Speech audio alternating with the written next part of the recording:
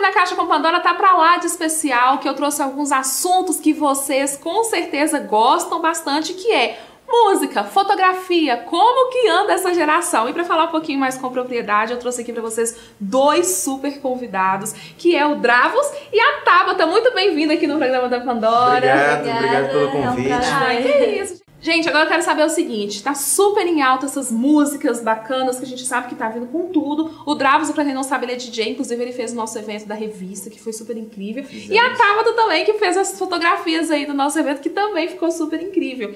E aí eu quero saber como que anda hoje esse mundo. Hoje, vamos começar com você, Dravos, da sim. música. Você é DJ. Sim. Conta sim. um pouquinho da história de você pra gente conhecer. Bom, eu faço música desde os 17 anos, mais ou menos. Eu comecei no house e fui também conhecendo o mundo de mixagem, masterização de músicas também. Que legal. Acabou que foi passando o tempo e conheci ela, a gente foi indo mais em festas, mais em festas e começou a pintar a possibilidade, até num curso que eu estava fazendo, um curso de produção musical mesmo. Musical. Eles fizeram um concurso dentro do curso para os alunos para estar tá fazendo um, um, tipo de música que você nunca fez. Aí no caso eu comecei a me interessar, né? O prêmio era lançar na gravadora deles, era uma gravadora até Verdade. importante.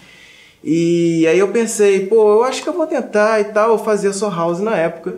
E aí me pintou essa possibilidade, eu falei, quer saber? Vamos tentar, vamos arriscar. Eu vou fazer um estilo que eu nunca fiz. E eu pensei, pô, é a minha primeira experiência fazendo um tipo de música assim, então vamos fazer, vamos, vamos trabalhar, porque eu acho que vai dar certo. E acabou que o pessoal foi abraçando a ideia do projeto. Tanto aqui em BH, eu já recebi mensagem de, do pessoal do México, do De pessoal Israel. de Israel, Gente, da Índia, falando que. cá. É, e eu falo, pô, eu ainda não sei quando que eu vou ir, mas eu pretendo ir. Que bacana. E foi aí que eu tirei o nome Dravos, que eu fiquei martelando, eu queria um nome pequeno. Foi difícil.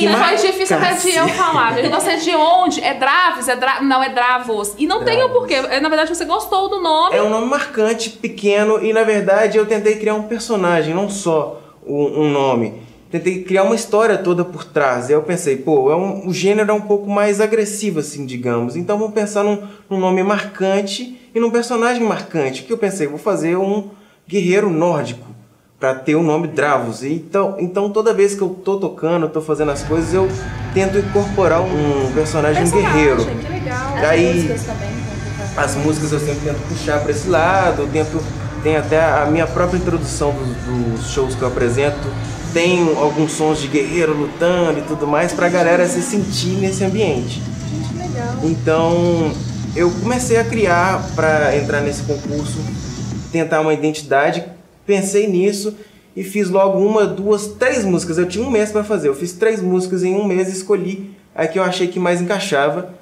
e E foi comigo cantando. foi com ela. Gente, Ela- vou falar já nela, eles são namorados, né? Mas como que é essa loucura? Porque vocês trabalham juntos e, e eu sempre digo que hoje trabalhar com uma pessoa que a gente se relaciona tem que ter uma maturidade muito grande. E eu, quando eu vi vocês no evento, eu conheci eles no evento, né? Foi o nosso primeiro contato. Eu nem sabia que eles eram namorados pela maturidade, pelo profissionalismo mesmo. E como que é? Você conheceu ela no evento? Como, como que aconteceu? Eu tô curiosa, eu quero saber. Essa história é curiosa. É curiosa. Na verdade, pode contar. A gente se conheceu no aplicativo. Olha! Aplicativo. Sim. Ó, babado. E, e assim, eu sempre gostei de música eletrônica também. E ele já tinha o projeto de house. Tem quanto Foi. tempo vocês estão juntos? Dois anos. A Gente! gente não sabe uma data específica, É. mas tem uns dois anos que a gente tá junto e a gente praticamente é casado. Porque a gente é, fica junto. junto 24 horas por dia, tanto no trabalho quanto na vida pessoal. Sim. Então, assim, eu acho que é, é E viva a vida é de casado mesmo. né? Sim, eu sou e Fala um fotógrafa. seu trabalho também, tá? Sou fotógrafa, atriz, tem de ser um pouco de cantora também. Ai, que Às vezes dá certo, né? Algumas músicas dele eu tenho É, quando vocais. auxilia ela, ela vai indo até bem. É. Com toda certeza. Ela tem um pouco de vergonha de fazer um ao vivo, talvez, mas. nossa. Então se eu mandar cantar No aqui agora, não vai sair. Não, não rola. Amiga, Mas no não. estúdio, se você estiver auxiliando, ela canta super É, que bem. legal.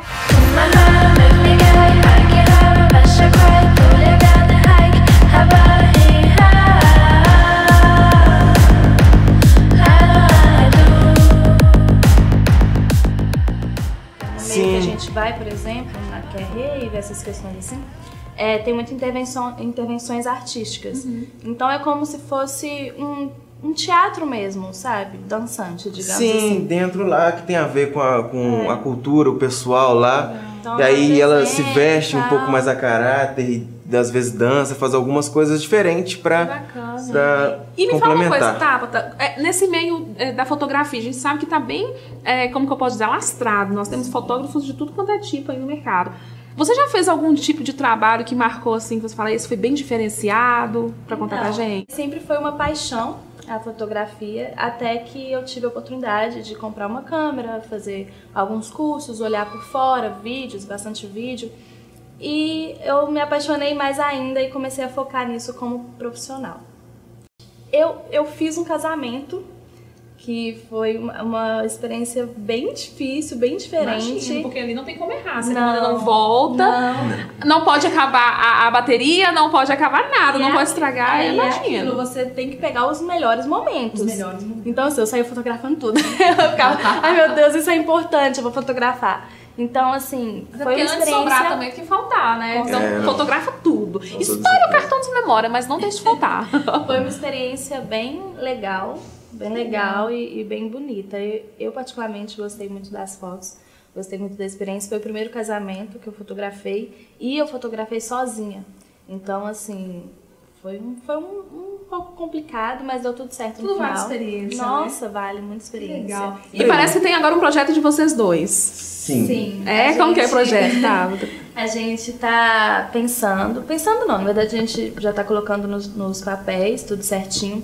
É, a gente vai montar uma, Uma label, gravadora, na é. verdade, é uma gravadora, é uma label que é, é, tem o intuito da gente pegar músicas de artistas do, da eletrônica, mas qualquer vertente, desde o trance O ao house, e Lançar a música lançar a música pra eles e fazer mais clipes. A gente tá com foco em fazer clipes pra música, clipe completo, com roteiro, Com roteiro, com um cenário Mas, legal. na verdade, uma, uma preparação, né, pra quem quer seguir nesse mundo da, da música eletrônica. Na, na- é, na verdade, é porque assim, existem muitas gravadoras, né, que, que solicitam muita, muita coisa difícil para você conseguir soltar uma música sua nela. Então a gente tá querendo ser um pouco mais acessível, sabe? Para quem não tem Sim. condição Que legal, financeira legal. e para quem tá nesse meio, porque a gente vê o que O quanto que é quanto é difícil, difícil, muito. principalmente quando quando não se tem uma verba, algo assim pra gente para trabalhar melhor. Então a gente tá querendo dar essa oportunidade para quem realmente tem talento. Gente, que Tem. incrível! Olha, quem dá a oportunidade pra mim ganha meu coração, né? Isso. E aí agora eu quero que vocês falem pra gente as suas redes sociais, pro pessoal começar a encontrar vocês e seguir vocês. Qual que são? Quais Bom, são? todo mundo pode me encontrar no, no Spotify, no Instagram, no Facebook. É só procurar Dravos, D-R-A-V-O-Z, Dravos. Os Acha em qualquer rede embaixo pra social. vocês poderem seguir. e você, Tabata? O meu eu tenho um Instagram. É, o meu é pessoal é Tabata Velasquez, onde eu falo sobre a- a- o projeto de atriz e tal. Eu tô mostrando mais sobre isso. E eu tenho outro que é Velasquez Fotografia. Que é um comercial, então, e um mais pessoal. Isso, Que o. Velasquez Fotografia eu tô mostrando mais as minhas fotos e tal. Ainda tá pequeno porque eu comecei com. eu- antes eu mostrava tudo no, no pessoal. Mas aí eu resolvi, não, eu vou separar um pouco as coisas. Esse é ótimo. É, e agora eu tô mostrando no Velasquez Fotografia, né, o meu processo como fotógrafa. É isso aí, gente. Então, muito obrigada por vocês terem obrigado vindo aqui, você. viu? Sejam muito bem-vindas, voltem quantas vezes precisarem. E eu convido vocês a conhecer um pouquinho desse trabalho, dessas pessoas incríveis. Inclusive, se você é aí algum cantor, ou algum DJ, ou ator, enfim, podem procurar eles que Pode esse eu indico. sim, com certeza. então tá. Beijo, até semana que vem.